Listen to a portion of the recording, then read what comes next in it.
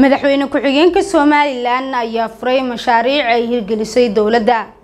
Warkaasi waxaa hargeysa ka soo diray khaalid fantastic madaxweyne ku-xigeenka jamhuuriyadda somalilan mudane cabdiraxmaan cabdilaahi ismaaciil shire saylici ayaa maanta si rasmiya xadhigga uga jaray. Dhismo cusub oo ay yeelan doonto hay'adda qaxoontiga iyo barakacayaasha qaranka ee somalilan isagoo sidoo kalena madaxweyne ku-xigeenku kormeer ku soo maray xafiisyada hay'addaasi ay ku leedahay magaalada hargeysa kulan kooban oo xarunta hay'addaasi ka dhacday ayaa waxaa ka soo qayb galay gudoomiyaha hay'adda qaxoontiga iyo barakacayaasha qaranka ee somalilan cabdikariin axmed maxamed xinif wasiir ku-xigeenka wasaaradda qorshaynta qaranka ee somalilan mas'uuliyiin iyo shaqaalaha ka howlgala hay'addaasi iyadoo goobjoog halkaasi uu ku ahaa madaxweyne ku-xigeenka somalilan mudane cabdiraxmaan cabdilaahi ismaaciil shire saylici kulankaasina waxaa ifafure oo halkaasi ka hadlay gudoomiyaha hay'adda qaxoontiga iyo barakacayaasha qaranka ee somalilan cabdikariin axmed maxamed xinif waxaanu tafaasiil xoogle ka bixiyey ahmiyadda iyo sidoo kale hagidda siyaasadeed ee xilligani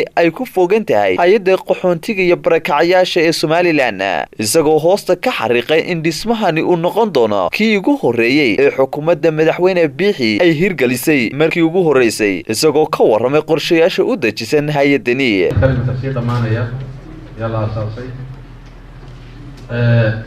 waxay la kowsatay sanadkan un la bilaabantay inta sii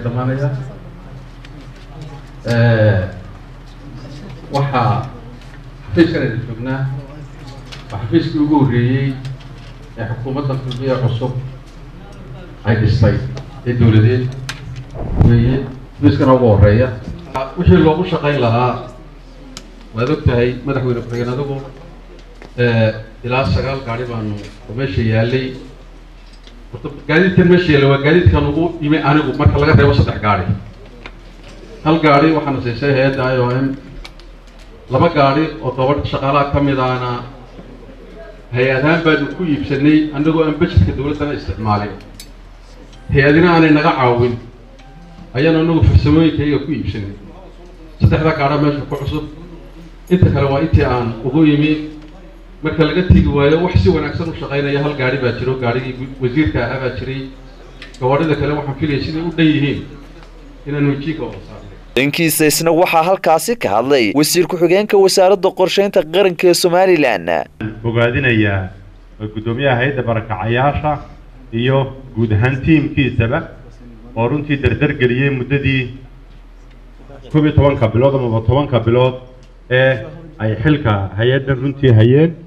Hay'addani runtii waxay ka shaqaysaa amaba ay u xil saaran tahay waa dadyow nugul oo runtii aada u nugul hadday noqdaan dadyowga iyagu gudaha ku barakacay oo sifo abaaro iyo dhaqaalo darro iyo ay waxbarakiciyeen iyo dadyowga qaxoontigee nabadgelyo darradu ka jirto waddamadii ay ka soo qaxeen.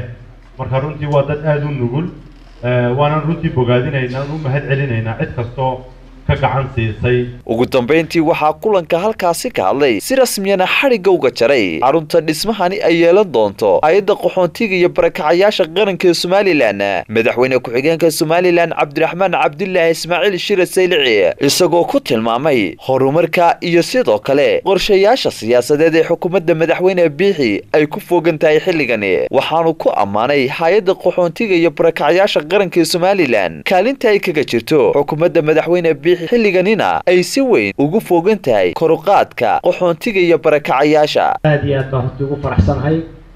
Waxaan runtiina u mahadnaqayaa guddoomiye hay'adda oo runtii ka dhabeeyey inuu bii-ad wanaagsan u abuuro.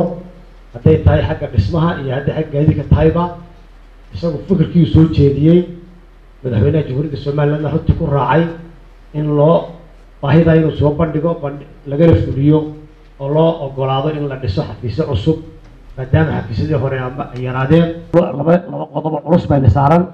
Dad dhibaata ka uga soo cararaya dalkoodii ood mar walba halkan u taagantihiin in wixii kolba loo qaban karo loo qabto iyo dadkeennii gudaha ku barakacay oo iyadana qudheeda mar walba haddee maaragtay ka mas'uul tihiin.